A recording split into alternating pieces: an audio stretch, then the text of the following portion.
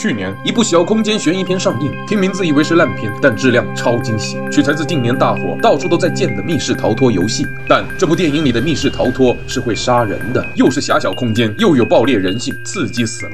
故事开始，一个玩家跌跌倒倒地闯入一间房子，没有门，也没有窗，四周的墙开始慢慢靠拢。显然，如果没尽快找到出口，他会被压成肉泥。男人很慌。根据线索提示，男人发现屋里每幅画都有一个人伸出手指，这是时针的提示。这不就是四点、八点、六点、两点？开锁密码四八六二，但没有反应。墙依然在逼近，沙发毁了，吊灯毁了。男人被压到一个小隔间，只能对天求饶。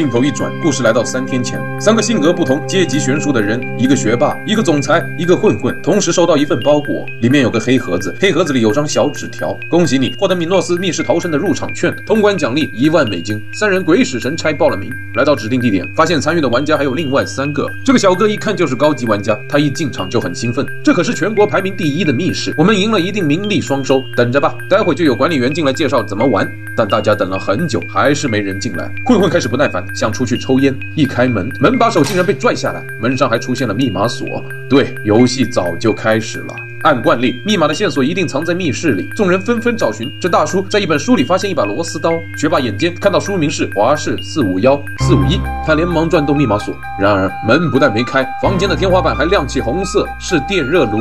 房间温度开始升高，整个房间成了一座烤箱。混混又冲动了，拿起灭火器就想砸。这一砸，连房间的柱子也开始加热。众人开始慌了，七手八脚敲着玻璃，问接待员要提示。打开窗户，我去，对方竟是假人。房间的温度还在升，金发姐受不了了，开始崩溃。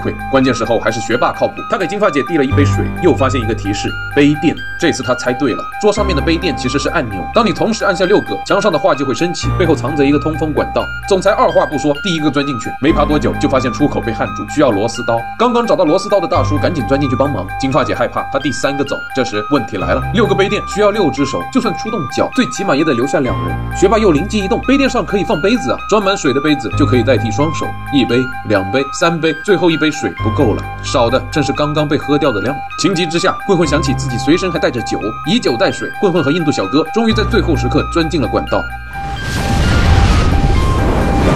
但逃出第一个，六人又钻进另一个密室，他们一半近乎崩溃。等到他们打开第二关的门，更大的危险等着他们。第二关是极寒之地，刚刚从烤箱里出来的众人身上还全是汗，凉快吧？这时身后小屋的门自动关上，锁紧，回不去了。温度开始降低，凉快成了刺骨。众人赶紧分头寻找线索。总裁找到一扇门，但需要钥匙。大叔找到一根鱼竿，学霸找到了一块磁铁，而跑出来抽烟的混混也在地上踩出一个洞。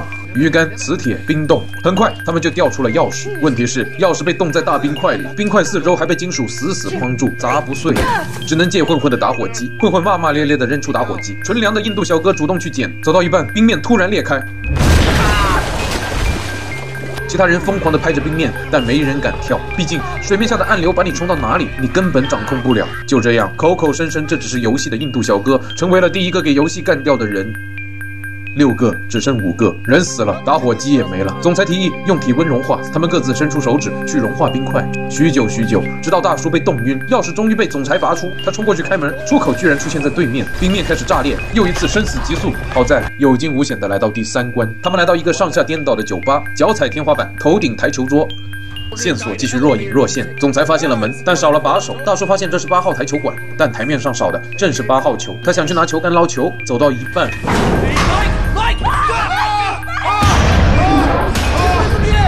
原来这地方不止颠倒，还悬空，底下是一片黑色的深渊。五人吓得贴在墙壁上。时间不多，金发姐爬到吧台，发现一个密码锁。学霸根据墙面上的拼图游戏推算出一组数字，输入无效。这时底下的地板已掉剩两块，偏偏手滑的学霸还掉了下去。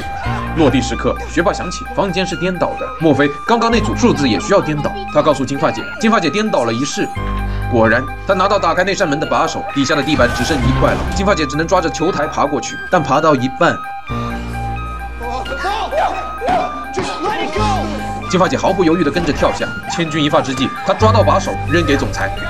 也在这时，最后一块地板掉下，只抓到电话线的金发姐知道自己没机会活下去了 no stay ok。五个只剩四个，剩下的四人狼狈地来到下一个密室，一个病房，里面的每张病床都是他们曾经睡过的，而上面的病历显示，他们根本不是普通人。学霸曾遇见过空难，大叔遇见过矿难，混混发生过交通意外，总裁则在一次和朋友被困海面上。他们都是曾经的灾难事件中的幸存者。学霸彻底懂了，他们都是被挑选的人。过去他们是最幸运的，当一帮最幸运的凑在一起，谁又是最最幸运的？平时内向隐忍的学霸终于怒了，他知道要真正赢得这个游戏，不能再被设计者的规则牵着鼻子走。他抓起铁杆，挥向密室里的一个个摄像头。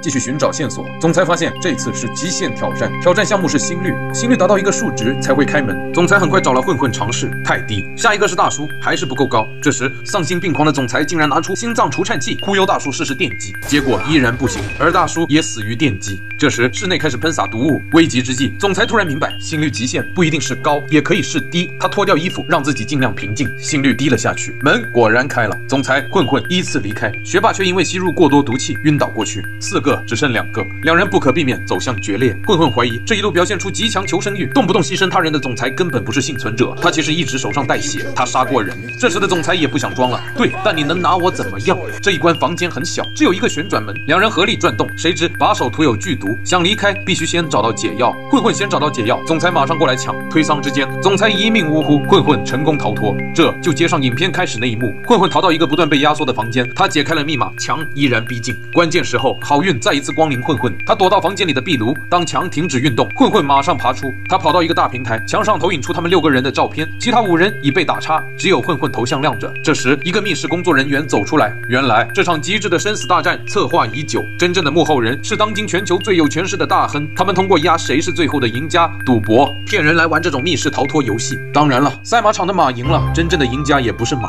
话刚说完，突然掏出绳子勒向混混。好在这时死掉的学霸及时赶到。原来他之前。的中毒只是伪装，打掉摄像头的他靠着氧气罩等待来收尸的工作人员偷袭对方并抢了枪，有了枪，人数还占优的玩家终于实现反杀，混混和学霸成为了最终的幸存者。所以故事到这就完了吗？不，真正的反转是，等到学霸带着警察重回游戏现场，现场已被破坏干净，混混的血液中也被查出残留致幻毒品。换言之，没人相信他们的故事。与此同时，死去那四个人全被安排成意外死亡，总裁死于车祸，印度小哥死于溺水，金发姐死于攀岩坠落。学霸邀请混混继续追查。直到揪出真正的凶手，已经成为白领的混混，终于还是答应了。影片的最后一幕是一架即将坠毁的飞机上，空姐按照提示一次次闯关，但最终打开驾驶舱的门还是来不及，失败。这时灯光亮起，原来这只是一次游戏测试，生存概率百分之四。